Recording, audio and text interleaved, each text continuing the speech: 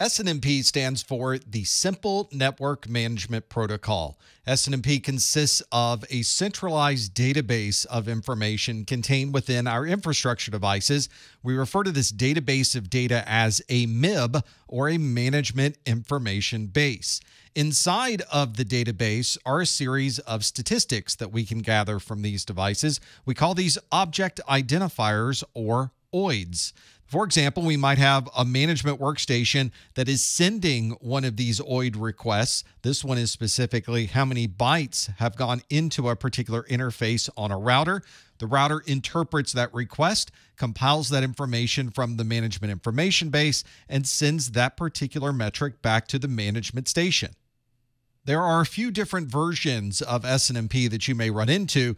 The very first version was SNMP v1.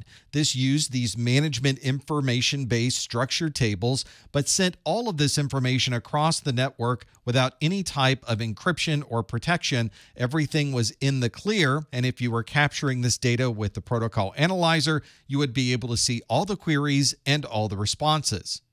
An updated version of SNMP was created, SNMP v2. This allowed for some new types of data sources on the remote device and allowed us to query multiple OIDs at the same time and receive all of those responses in one single packet. Unfortunately, SNMP version 2 did not include any type of protections either, and everything was sent in the clear just like SNMP v1. Networks that are concerned about security are probably running SNMP v3. This includes extensive protections of the data, including a message integrity check, authentication, and encryption of the data across the network. To be able to retrieve those metrics from that remote device, we need to know what to ask for. And the information that we're asking for is called an object identifier or an OID. These OIDs are series of numbers. You can see an example of an SNMP OID 1.3.6.1.2.1.11.29.0. Each one of those numbers is referring to a different part of the SNMP tree. The first number one refers to ISO, the second number three refers to org, the third number six refers to DoD, the next number one refers to internet, and so on.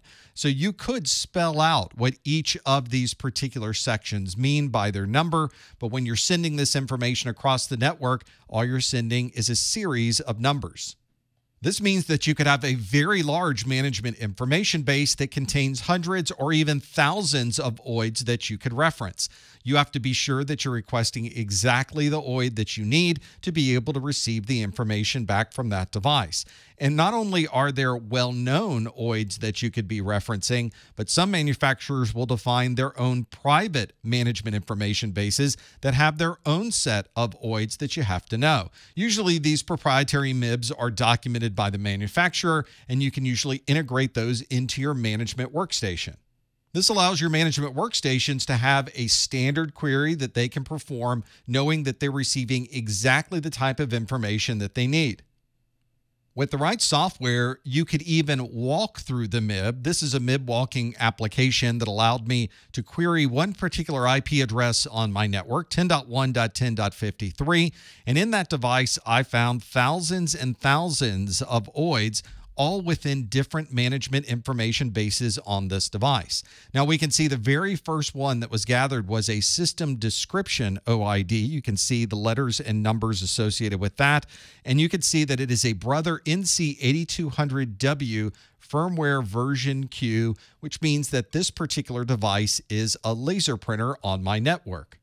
As you can see, there is an extensive amount of information that we can gather from this device. There are SNMP v2 MIBs, there are interface MIBs, there are IP MIBs, and some MIBs specific to TCP and UDP. In some cases, you may have to walk through the MIB to find exactly the information you're looking for, at which point you could make a note of what that OID happens to be, and then you can use that in your management workstation to be able to constantly retrieve that data. If you do that, you can start creating a trend of this information and be able to compare different metrics over time. This is an example of the information that you could gather over time and create some graphs based on these well-known SNMP MIBs. So far, we've described this SNMP process as very proactive, which means we have to query the device. It responds back with a value, and then we would need to perform trending of that value over time. This obviously means that we would need to constantly perform polling to that device to be able to collect and trend that information. And if you have tens, hundreds, or thousands of devices, you may find it increasingly difficult to be able to perform all of these polls. Instead, we could configure the remote device to be able to perform its own monitoring, and when it exceeds a particular value, to send an alert message directly to us instead of us having to constantly poll. We refer to this as an SNMP trap. This SNMP trap is an alarm or an alert that is sent reactively to the management workstation, usually over UDP port 162. This allows us to be informed immediately if any problems are occurring if we've configured it to check for these values. For example, we could tell a device that if the number of cyclic redundancy errors increases by a factor of 5 to send a trap back to the management workstation at which point the monitoring station can send an alarm or an alert directly to our phones. It can show that icon on the screen as being red. It can make a sound, or it can perform some automated functions in the background to somehow work around the problems that have been received. Usually, you'll find that your management station is using a combination of these to be able to pull and receive traps to be able to get the best view of what's happening on your network.